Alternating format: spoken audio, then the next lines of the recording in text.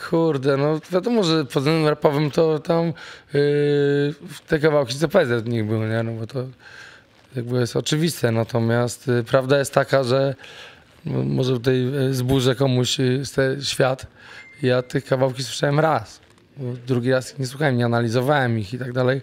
A co najlepsze, płyty Czarny Wrzesień do dzisiaj jeszcze nie słyszałem. Przysięgam. Nie słyszałem jej. Więc nie wiem, no.